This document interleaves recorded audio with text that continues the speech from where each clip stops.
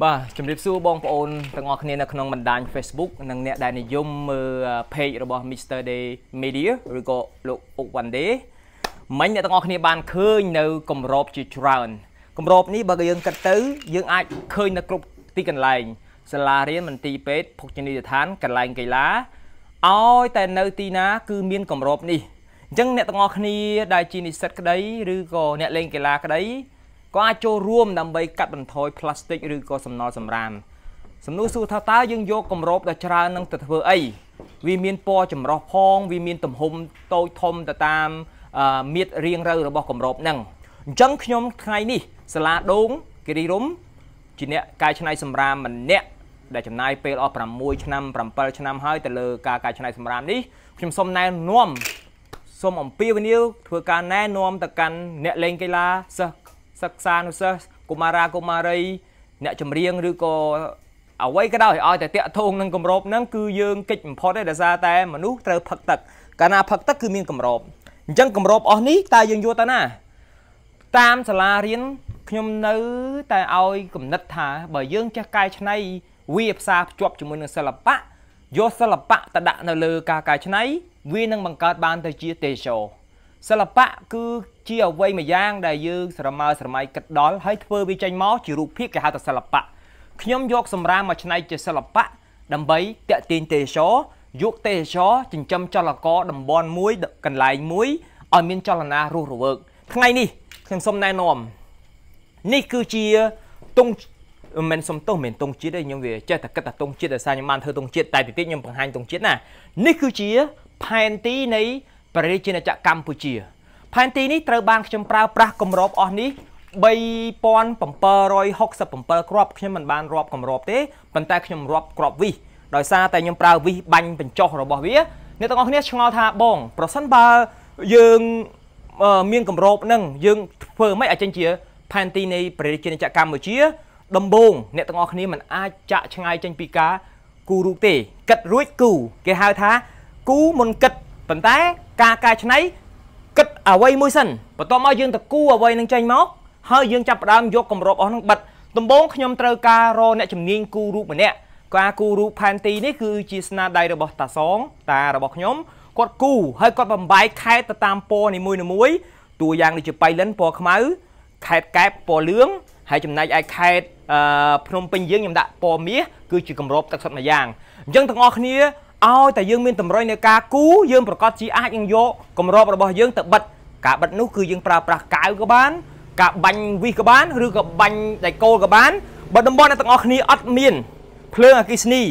នៅតែធ្វើកើតគឺយើងប្រើដៃគោល3ហ៊ុនទូចទូចវាយបញ្ចុះទៅបើតំបន់ទាំងអស់គ្នាអត់មានដៃគោលលក់ក៏នៅតែប្រើកើតគឺប្រើកាវកាវមួយយ៉ាងដែលអាចបិទជាប់ជាមួយនឹងជញ្ជាំងថ្មហើយនឹងជញ្ជាំងក្តារ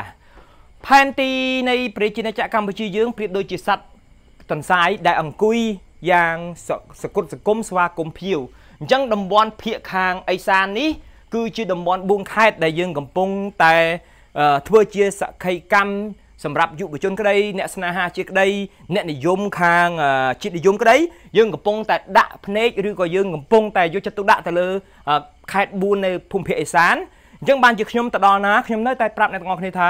ការធ្វើផែនទី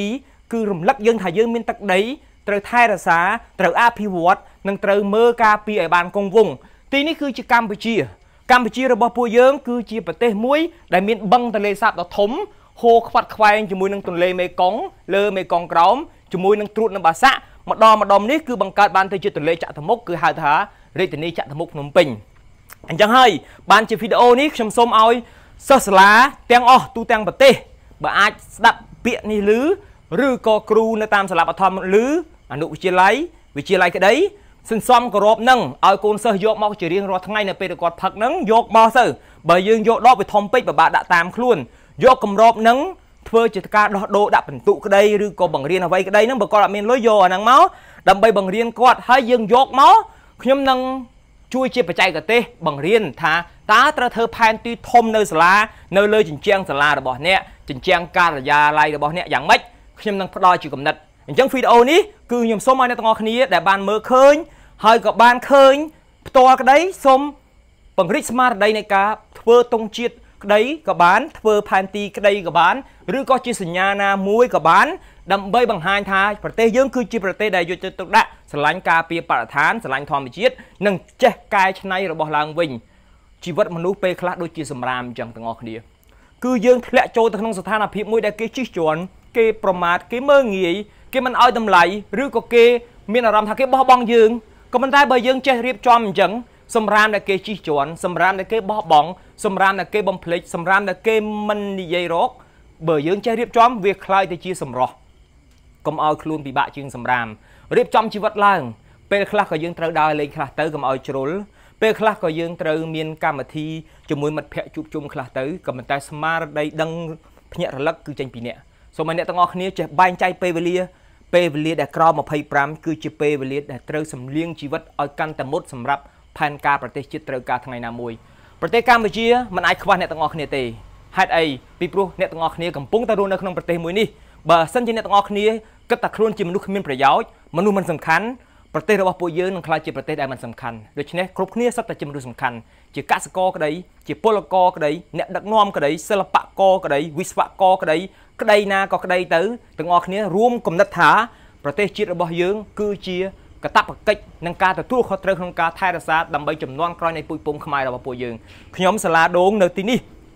ខ្ញុំកំពុងតែបង្កើតហាងកាហ្វេមួយដ៏ធំសម្រាប់ខេត្តមួយតំបន់មួយដើម្បីឲ្យទីនេះល្បីល្បាញផ្នែកទេសចរ ហើយខ្ញុំកំពុងតែជ្រើសរើសសិស្សស្រី50នាក់ជារៀងរាល់ឆ្នាំ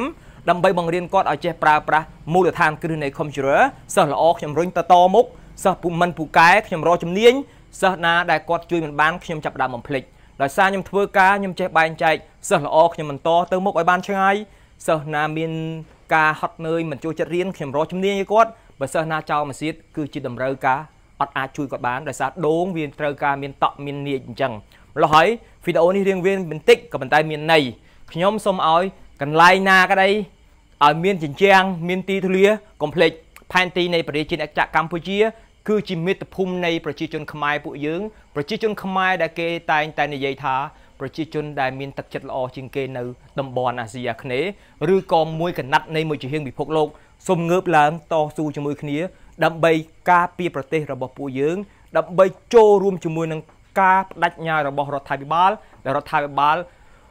ត្រូវការទំនុកចិត្តពីពលរដ្ឋវីដេអូនេះខ្ញុំសូមផ្ញើសារទៅកាន់អ្នកទាំងអស់គ្នាថា យើងនៅមានប្រទេសមួយ ដែលត្រូវមានការទទួលខុសត្រូវយើងមានប្រទេសមួយដែលមានកន្លែងរស់នៅត្រឹមត្រូវដូច្នេះទៅដល់ណាក៏ដោយក៏យើងត្រូវតែធ្វើផែនទីខ្ញុំទៅដល់ណាក៏ដោយក៏ខ្ញុំធ្វើតែរបស់3ទេទី1ខ្ញុំចាប់ផ្ដើមធ្វើទង់ជាតិខ្មែរមួយសិនបន្ទាប់មកខ្ញុំដាក់ផែនទីរបស់ពួកយើងចូលទីបន្ទាប់មកខ្ញុំដាក់បេះដូងមួយទៅសេពាក្យថាបេះដូងខ្មែរ កុំភ្លេចណាបន្តិចទៀតខ្ញុំនឹងណែនាំអ្នកនរគ្នាទៅមើលកន្លែងនឹងមានអីខ្លះជួបខ្ញុំនៅវីដេអូក្រោយ